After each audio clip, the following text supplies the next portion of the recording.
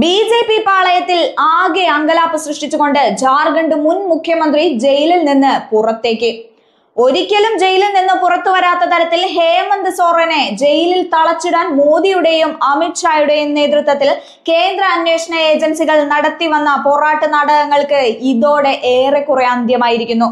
ജാർഖണ്ഡ് ഹൈക്കോടതി ഹേമന്ത് സോറന് ജാമ്യം നൽകുമ്പോൾ അത് തൊട്ടുടനെ വരാനിരിക്കുന്ന ജാർഖണ്ഡ് നിയമസഭാ തെരഞ്ഞെടുപ്പിൽ ബി ജെ പിക്ക് കിട്ടുന്ന ഇരുട്ടടിയായി തീരും. ഭൂമി തട്ടിപ്പ് കേസിലാണ് ജാർഖണ്ഡ് മുൻ മുഖ്യമന്ത്രി ഹേമന്ത് സോറനെ അമിത്ഷായുടെ കേന്ദ്ര അന്വേഷണ ഏജൻസി മാസങ്ങളായി ജയിലിൽ തളച്ചിട്ടത്. ജാമ്യം തേടി സുപ്രീം കോടതി വരെ പോയിട്ടും ജാമ്യം നിഷേധിക്കപ്പെട്ട ഹേമന്ത് സോറന് ജാർഖണ്ഡ് ഹൈക്കോടതി ഇപ്പോൾ നൽകിയ ജാമ്യം പ്രതിപക്ഷത്തിന് നൽകുന്ന ആശ്വാസം ചില്ലറയല്ല. ഇക്കഴിഞ്ഞ ജനുവരി മുപ്പത്തി ഒന്നിനാണ് ഭൂമി അഴിമതി കേസിൽ ഹേമന്ത് സോറനെ ഇ ഡി അറസ്റ്റ് ചെയ്തത്. അറസ്റ്റിന് തൊട്ടു മുൻപ് ഹേമന്ത് സോറൻ മുഖ്യമന്ത്രി സ്ഥാനം രാജിവെച്ചിരുന്നു. സോറൻ ജയിലിലായതിനു ശേഷം രാജ്യവ്യാപകമായി പ്രതിപക്ഷ പാർട്ടികൾ നടത്തിവരുന്ന പ്രതിഷേധങ്ങൾ ഇപ്പോഴും തുടർന്നുകൊണ്ടിരിക്കുകയാണ്. അതിനിടയിലാണ് പ്രതിപക്ഷത്തിന് ആശ്വാസമായി ഹേമന്ത് സോറന് ജാർഖണ്ഡ് ഹൈക്കോടതി ഇപ്പോൾ ജാമ്യം നൽകിയിരിക്കുന്നത്.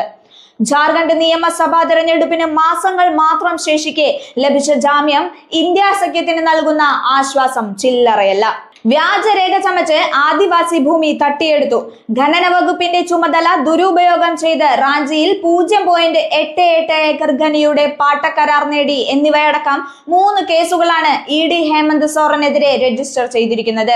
ഈ കേസുകൾ കെട്ടിച്ചമച്ചതാണെന്നും കേന്ദ്രത്തിന്റെ പ്രതിപക്ഷ വേട്ടയുടെ ഭാഗമാണെന്നും നാളുകളായി പ്രതിപക്ഷം ഉയർത്തുന്ന ആരോപണമാണ്. ഹേമന്ത് സോറനെ പോലെ ജയിലിൽ കിടക്കുന്ന ഡൽഹി മുഖ്യമന്ത്രി അരവിന്ദ് കെജ്രിവാളും ജയിലിൽ നിന്ന് ഇറങ്ങുന്നതിന്റെ വക്കിലെത്തിയിരിക്കുന്നു. പക്ഷേ ഡൽഹി റോസ് അവന്യൂ കോടതി കെജ്രിവാളിന് നൽകിയ ജാമ്യം പിന്നീട് ഹൈക്കോടതി റദ്ദാക്കുന്നതാണ് കണ്ടത്. ഹേമന്ത് സോറന് പിന്നാലെ കെജ്രിവാളും ജാമ്യം കിട്ടി പുറത്തിറങ്ങി കഴിഞ്ഞാൽ അത് കേന്ദ്രത്തിന് നൽകുന്ന തലവേദന ചില്ലറയായിരിക്കില്ല. ജയിലിൽ നിന്ന് പുറത്തിറങ്ങുന്ന പ്രതിപക്ഷ നേതാക്കളുടെ വരും കാല രാഷ്ട്രീയ പ്രവർത്തനങ്ങൾ ഇന്ത്യയിലെ മോദിയുടെ ഏകാധിപത്യ ഭരണത്തിന് അന്ത്യം കുറിക്കുന്നത് തന്നെയായിരിക്കും. വേട്ടയാടലുകൾക്ക് അവർ പകരം വീട്ടും. അത് ഏറ്റവും നന്നായിട്ട് അറിയാവുന്നത് പ്രതിപക്ഷ നേതാക്കളെ വേട്ടയാടിക്കൊണ്ടിരിക്കുന്ന കേന്ദ്രത്തിന് തന്നെയാണ്. അതുകൊണ്ടാണ് കള്ളക്കേസുകളിൽ ജയിലിൽ കിടക്കുന്ന പ്രതിപക്ഷ നേതാക്കളുടെ ജാമ്യം കേന്ദ്രം ഇത്ര മാത്രം ഭയപ്പെടുന്നത്.